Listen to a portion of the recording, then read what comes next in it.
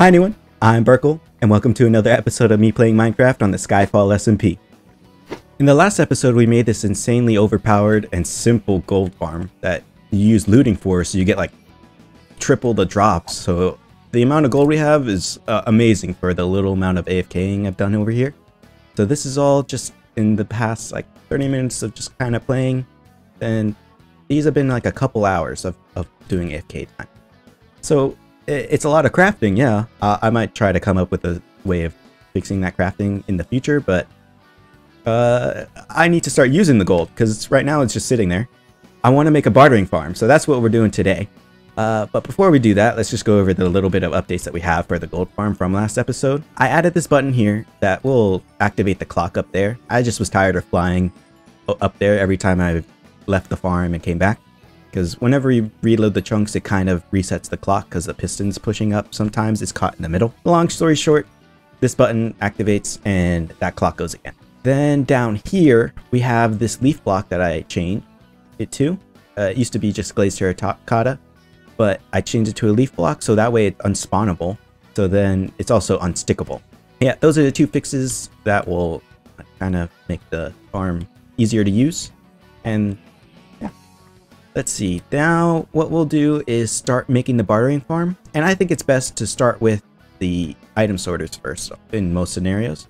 So that's what we're going to do. We're going to make it on the same level as these uh, sorters.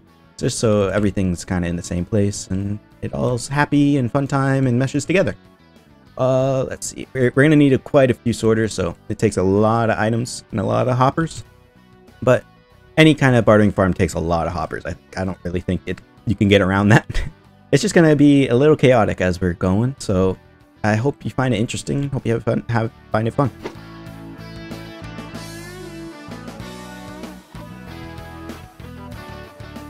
This is the platform that the items for the bartering farm is going to end up going to. I'm just going to use shulker loaders just because it makes everything simpler to hold and transfer, get everything done. So let me show you how I build these shulker loaders. I think it's by Kale Hammeron. That's the one I use the most. Um, I like to stack up a couple blocks. Then here we need a dispenser to dispense out empty shulkers. Uh, some temporary blocks make it easier.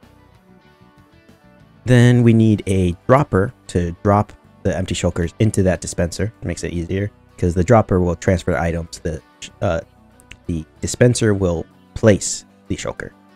Then we need some hoppers facing into there to give it more shulkers, empty shulkers chest here just to store more empty shulkers. It's all about the empty shulkers here. Uh, sticky piston here will this will fire and that's what breaks the shulker when it's full.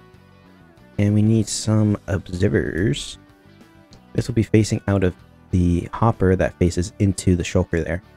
This is what feeds into the items, into the shulker itself.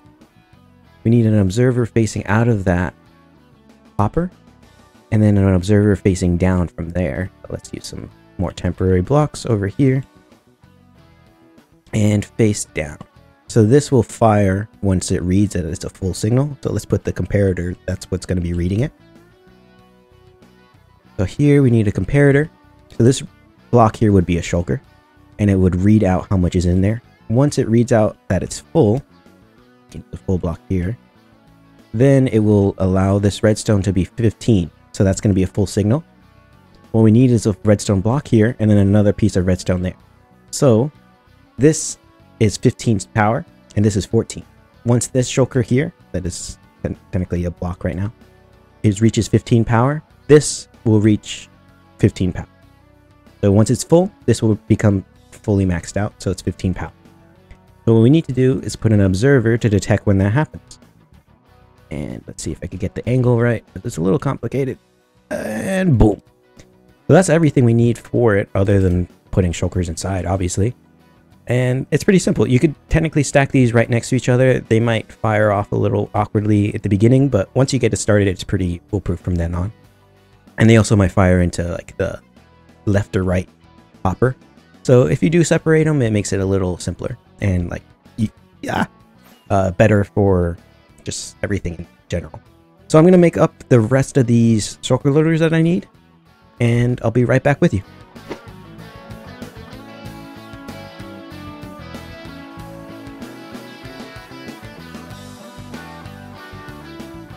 The 18 shulker loaders are in.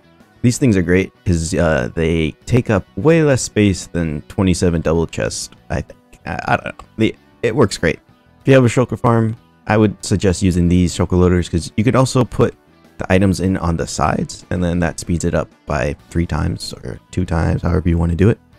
Uh, depends how close you have them together. So like these ones will be using uh, on both sides, and on each of these they'll be on one side. But yeah, the, these are the loaders. The next things we need to do are the sorters. So some of them are non-stackable items, so we'll be needing to use allays for that.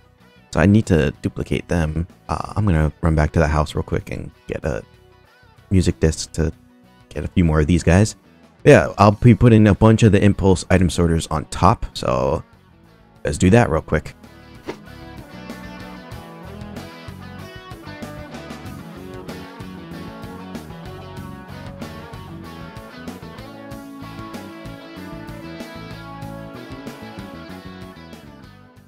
Okay, I've got a good amount of the allays in. All the item sorters are in, apart from the last allay one. So uh, I'll show you how I do it. You just put in some music. Any of the songs work. Uh, this is probably my favorite, so I'll use this one. And then you give them an amethyst shard. They duplicate.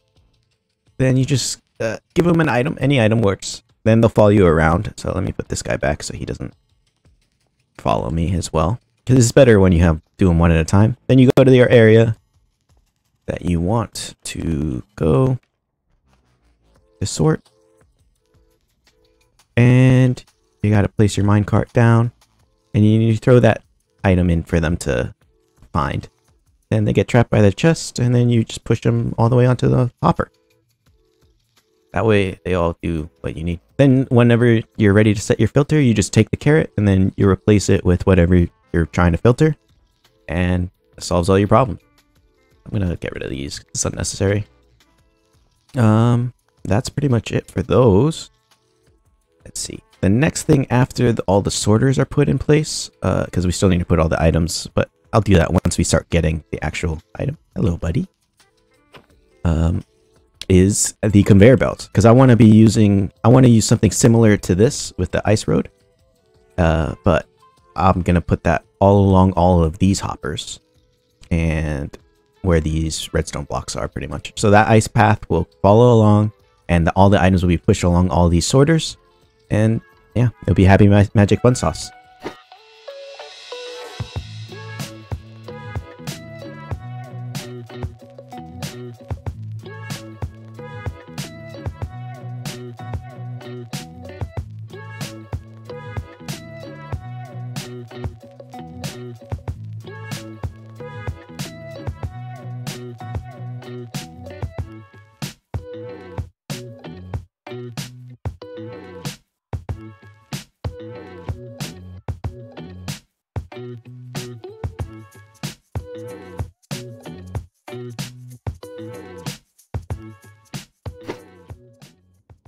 So you may be asking, why are there flying machines in this bartering farm? Isn't that a little unnecessary? Yes, uh, I I agree. It, this is all very unnecessary. You could probably just use hoppers and it won't really get clogged. It, it'll be fine. It's just, I, I want it to be different sometimes, you know? So let's be different together, guys. Uh, that's impossible, but uh, uh, let's let's think about something else. So these flying machines are going to be what push the items off of these leaf blocks because the piglin will be up here trading and dropping their items and they'll be falling onto the, the leaf blocks. Then the flying machines will be pushing back and forth, back and forth, which will be pushing the items onto the ice track, which then once it reaches the end of each track, it fires at each corner and then flies over and then gets aligned on the chest similar to over there and then flies along and into the item sorters. So it's pretty simple in the grand scheme of things if you just break it down into its parts. But next part we need to do is the actual piglin bartering farm. So that's going to go right above here at the same level as this AFK spot. So in the end, if we want to just AFK while we're doing the bartering, it's all at a good spot.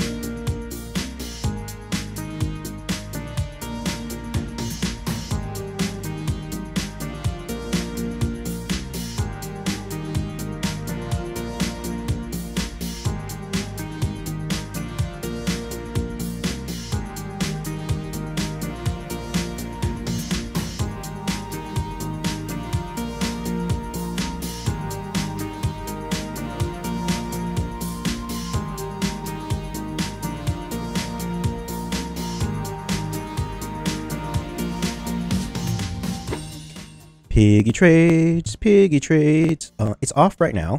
Both of them are off. What we need to do is start the system by adding some gold. We'll put gold into that one, then put gold into this one. And it will automatically go off once it's full enough using the, this chest back here to compare out how much is inside the system and make sure that there's enough to fill up both of twice. Okay, so now that they're getting their gold, we can turn on the gold dispensers and or droppers, not dispensers, but dispensers is a better word. So yeah, they get their gold, and then as soon as they're done trading, they receive another gold right away. And this block pushes out, so whatever lands on the chain gets pushed off immediately, and it always lands in the same space, just so everything kind of lines up better. And we'll start launching the flying machines to collect all the items so it doesn't back up. That's pretty much a system. Once you break it down to its parts, then everything's a little easier to understand. Uh, the flying machines will be pushing the items into this hole where everything will get aligned off of the chest and bounced along the item sorters. Then these allays, it was a little more complicated than just putting them in here, switching out the carrots, because like you can't get grab the carrots while they are in the in the minecart. You have to take them out and then switch them back. So I just suggest using whatever item you want to use from the beginning. And then they're trained off of the note blocks. So every time the flying machine hits back to this side, the note block will fire. And they'll be like, okay, so I can drop it into this chest or into this hopper. And the hopper will release once the note block goes off. So yeah, it's pretty simple let's see down below what kind of items we're getting, which is it's pretty ridiculous. I would say I've put maybe 24 blocks or stacks of blocks of gold in the system. So not a little, not a lot, but we, we got a lot of items. got a lot of uh, blackstone, a lot of gravel, arrows, quartz. We're getting a good amount of. I've already taken out four boxes, five boxes, I think. So we're getting a good amount of that. String is nice. The, the leather is nice. Never have to use any other kind of leather farm. The obsidians are great. And then th these like non-stackable items are, are, they're, they're doing fantastic. They're they're great little workers. They're just not super detail oriented when it comes to bottles. So like these kind of combine some, but whatever. It's not a big deal. Yeah. Uh, that's it for the bartering farm. I think this farm is pretty much done. The only thing I would want to add would be a nugget to ingot crafting like machine. Like it makes it easier to craft, or it'll just give you the amount of nuggets to craft a set ingot. Um, but that's not really necessary for this. So I'm just gonna head back home and do a little bit of building to finish off the episode because we haven't really done much building lately. We've just done a bunch of technical building. So I think that's it for our gold farm bartering farm engine. It's, that's what it is. This is the engine to power our builds, I think.